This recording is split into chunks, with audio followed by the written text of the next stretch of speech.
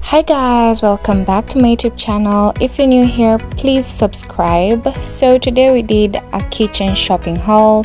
So this is me going to the basement and i'd like to tell you this is jubilee complex shop bo2 i believe you have seen the name of the store. It's called glam your kitchen. So this is just an overview of what they have in general. They have mugs. So uh, I found this set of knives and spoons. They were quite expensive but I really liked the quality depending on the kind of souvenirs I was gonna get so the next thing I saw is this 24 pieces of um, kitchenware. They're just going for 6000 yes i remember i think it's 6000 so this is uh, the mugs were going for 200 uh, mug and there are sets of six. So yeah just do the math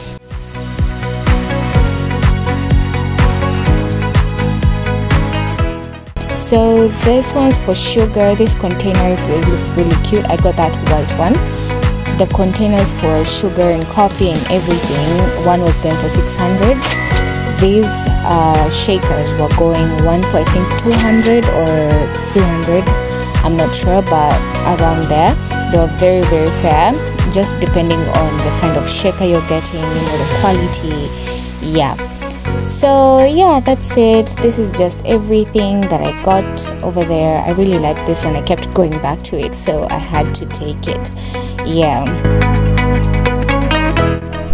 For the chopping board i decided to get that one for 500 and for the spoons i got the same thing but cheaper. I found a cheaper place but it's the same same thing for the sufurias, they were ranging from 6,500 to 12k to 22,000. So after that, I went to Naivas to get some food because I was quite exhausted and hungry.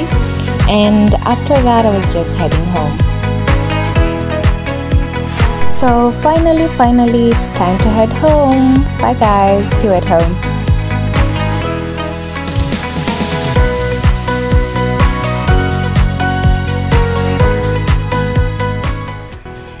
Guys. So I just arrived at home and I won't lie. It's so tedious. I am my head is aching. The first thing I thought about is getting something cold to like drink because I am so tired. My shoes are so dirty and like I just I was from washing my hands so don't worry about this little stain right there. I will unbox later uh, all that stuff. But for now that is it. Thank you so much for uh, watching up to this point. And uh, tell me on the comment section if you want to see uh, me unbox. So trust me my brain is not even working. So thank you. Ciao. We'll talk later. Bye